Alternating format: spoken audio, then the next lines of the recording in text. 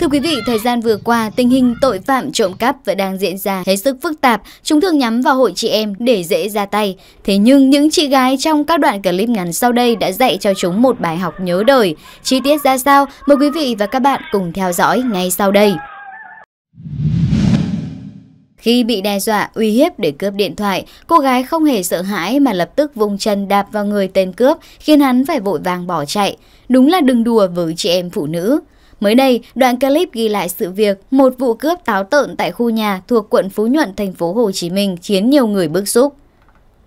Theo camera ghi lại hình ảnh, sự việc xảy ra 14 giờ ngày 22 tháng 7 tại số 30 trên 28 trên 17 Phùng Văn Cung, phường 7 quận Phú Nhuận, thành phố Hồ Chí Minh. Thời điểm đó, cô gái mặc áo phông trắng đeo ba lô, trên tay cầm điện thoại đang ngồi trước cửa nhà thì bất ngờ bị một thanh niên đi xe máy tiến tới tiếp cận. Ngay sau đó, hắn dùng một vật nhọn dí vào vùng bụng của nạn nhân rồi đe dọa cướp điện thoại di động. Bị uy hiếp, cô gái không hề sợ hãi mà lập tức vung chân đạp vào người tên cướp khiến hắn phải vội vàng bỏ chạy. Sự việc sau đó được trình báo cơ quan công an nhờ truy xét điều tra. Bằng các biện pháp nghiệp vụ, công an quận Phú Nhuận xác định đối tượng có tên thường gọi là Nhím, nghi vấn thực hiện hành vi trên. Sau khi gây án, đối tượng bỏ lại xe máy tại hẻm trên đường Vạn Kiếp, tắt điện thoại, thay đồ và bỏ trốn. Bằng các biện pháp nghiệp vụ, công an xác định Nhím đã trốn lên thành phố Đà Lạt, tỉnh Lâm Đồng. Tổ trinh sát tiến hành mật phục tại các bến xe nhà trọ. Đến ngày 10 tháng 10 mới đây, lực lượng chức năng đã bắt giữ đối tượng vừa về đến thành phố Hồ Chí Minh. Tại cơ quan công an, đối tượng tên thật Nguyễn Trọng Tâm, sinh năm 1994, thường trú phường 3, quận Bình Thạnh, có 3 tiền án và một tiền sự, khai nhận là nghi phạm gây ra vụ việc. Bên dưới đoạn clip, nhiều người để lại bình luận của mình. Lười làm mà lại đòi có ăn, phải xử nghiêm bọn này thôi. Giờ chị em ra đường là phải cẩn thận, mấy cái thể loại này nhiều lắm. May mà cô gái trong đoạn clip này không sao, đây cũng là bài học cho các chị em.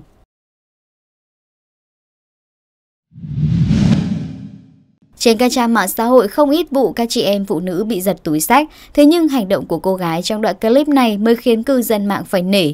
Tình huống xảy ra quá bất ngờ, nhưng cô gái không hề tỏ ra hoảng sợ mà ngược lại, cô lập tức phản đòn bằng cách răng co tay đôi với tên cướp. Mới đây, cư dân mạng truyền tay nhau đoạn clip ghi lại màn phản đòn cực gắt của cô gái khi bị kẻ xấu bất ngờ tấn công. Sự việc được camera an ninh gần hiện trường ghi lại.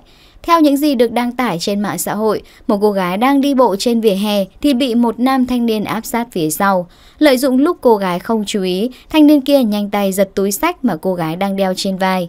Tình huống xảy ra quá bất ngờ nhưng cô gái không hề tỏ ra hoảng sợ mà ngược lại, cô lập tức phản đòn bằng cách răng co tay đôi với tên cướp. Khi bị kéo ngã xuống đất, cô gái tiếp tục bật dậy đánh trả bằng được. Nghe thấy tiếng người chi hô, nhiều người trong cửa hàng gần đó chạy đến hỗ trợ cô gái. Đứng trước màn đáp trả gai gắt của cô gái cùng sự trợ giúp của người dân, tên cướp hoảng sợ bỏ của chạy lấy người. Thoát thân khỏi hiện trường trước khi bị tóm gọn. Đoạn clip sau khi được đăng tải thu hút sự quan tâm rất lớn từ dư luận.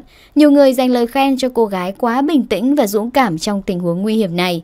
Tuy nhiên, cũng có một vài người lo ngại cho sự an toàn của cô gái vì nếu không may, rất có thể cô gái sẽ bị thương khi tên cướp hung hăng hơn. Thôi, từ giờ ra đường không dám mang tài sản có giá trị bên người mất, hớ hành ra cái là vào tầm ngắm bọn trộm cắp ngay. Chị em cũng đừng quá chủ quan, nhiều vụ còn nguy hiểm đến cả tính mạng đã xảy ra rồi. Trộm cắp ngày nay manh động quá, mọi người đặc biệt là phụ nữ ra đường phải chú ý hơn, đừng tạo cơ hội cho bọn chúng liều lĩnh.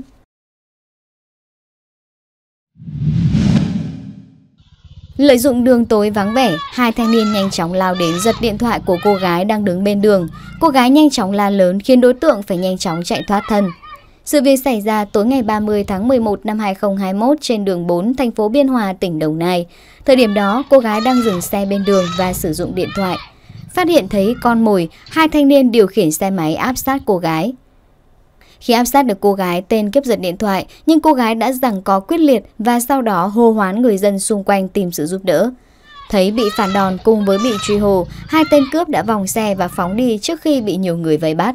Sau khi đoạn clip được đăng tải, nhận được rất nhiều sự quan tâm của cộng đồng mạng. Đây là lời cảnh tỉnh tới tất cả mọi người không nên sử dụng điện thoại trong khu vực vắng vẻ, ít người qua lại. Luôn cẩn trọng bảo vệ tài sản cá nhân, tránh những tình huống nguy hiểm tới mình ngay lúc nào. Tương tự như vụ việc vừa rồi, Cũng lợi dụng trời tối đường phố vắng vẻ, hai tên cướp nhanh chóng lao đến giật điện thoại của một người phụ nữ đang ngồi bên đường. Thế nhưng cô gái lao tới chống trả quyết liệt khiến hai tên cướp phải tháo chạy.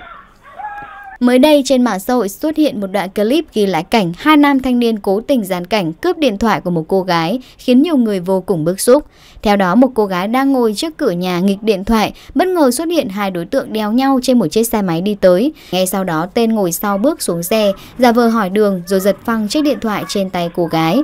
Bị cướp bất ngờ cô gái lao đến giằng lại bằng được chiếc điện thoại rồi hô hoán cướp cướp.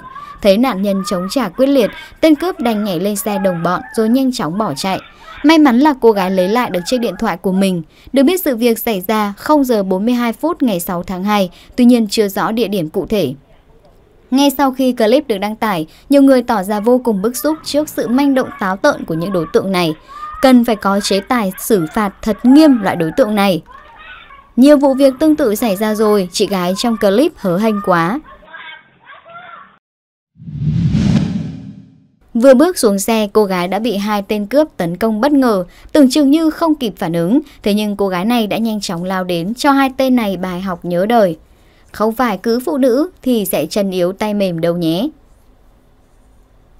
Mới đây, mạng xã hội xuất hiện đoạn clip ghi lại cảnh cô gái tung đòn hạ gục hai tên cướp giật túi sách của mình ở giữa phố, thu hút sự chú ý của nhiều người.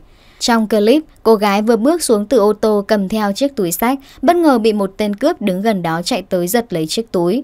Bị tấn công bất ngờ, cô gái phản ứng nhanh, giữ chặt chiếc túi, ra sức giằng lại rồi tiện chân đập thẳng vào bụng tên cướp hai cái khiến hắn ta loạn choạng, ngã gục xuống đầu xe ô tô đỗ gần đó. Thấy đồng bọn bị hạ gục, tên cướp còn lại lao tới tấn công cô gái nhưng may mắn cô đã kịp né. Chưa dừng lại ở đó, cô gái còn dạy dỗ ngược lại tên cướp. Sau một hồi giang co, cô đã cuột ngã hắn ta xuống đất trong nháy mắt, rồi đạp hai phát lên bụng của đối phương khiến hắn nằm gục tại chỗ. Đoạn clip sau khi đăng tải lên mạng xã hội nhận về rất nhiều bình luận của cư dân mạng, đa số tỏ ra thán phục trước màn xử lý hai tên cướp của cô gái. Thời gian qua, mặc dù các phương tiện thông tin đại chúng nhiều lần cảnh báo, nhưng người dân vẫn còn lơ là trong việc bảo quản tài sản, nhất là điện thoại, túi sách có nhiều tài sản có giá trị. Khi lưu thông trên đường, hình ảnh dễ bắt gặp nhất là đeo túi sách trên vai, treo trên tay lái, hoặc ở võng xe máy, hoặc ngang nhiên cầm điện thoại khi tham gia giao thông. Chính sự mất cảnh giác của người dân đã khiến các đối tượng xấu có cơ hội ra tay, nhất là đối với phụ nữ. Không chỉ bị mất tài sản, người bị cướp giật có thể bị ngã, nguy hiểm đến an toàn tính mạng. Mong rằng những đoạn clip này là hồi chuông cảnh tỉnh mọi người cần nâng cao tinh thần cảnh giác, cẩn thận hơn trong việc bảo quản tài sản, nhất là túi sách, điện thoại để không có cơ hội cho bọn xấu ra tay. Vậy bạn nghĩ sao về những trường hợp này? Đừng quên để lại ý kiến của mình bên dưới phần bình luận của video. Cảm ơn các bạn theo dõi video. Hẹn gặp lại các bạn trong những video sau.